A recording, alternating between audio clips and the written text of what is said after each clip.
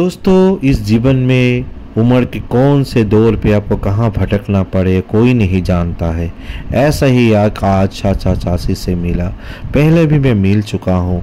उनका दोनों का इस दुनिया में, संसार में कोई नहीं है। लड़का बच्चा बोले तो इसलिए देखने वाला भी कोई नहीं है आज इस युग में।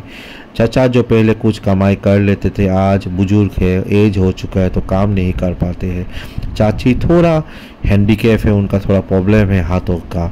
इसलिए वो भी आजकल उस स्पीड से काम नहीं कर पाते कि घर चला पाए अच्छे ढंग से। हम लोग को हम आते रहते हैं, मैं हमेशा उन लोग को जो भी हो थोड़ा बहुत मदद कर लेता हूँ। आज दोनों का मेडिकल प्रॉब्लम था तो थोड़ा मदद करके डॉक्टर साहब से बात करके अपॉइंटमेंट लेके दोनों को वहाँ भेज दिया गया है। शायद उनको देख के उनके बाद मैंने बोला है कि फ़ोन करिएगा, हम लोग मेडिसिन का भी, उनका जो भी है जुगाड़ लगा देंगे। प्लीज़ इस पेज को लाइक, शेयर और सब्सक्राइब कर दीजिएगा। आपका एक लाइक, एक शेयर, एक फॉलो हमारे लिए बहुत मायने रखता है। आप लोग का तो कुछ नहीं जाएगा, लेकिन हमारे लिए वो बहुत मायने रखता है, क्योंकि हम लोग और दस लोगों को मदद कर सकते हैं आपका लाइक, शेयर और सब्सक्राइब से।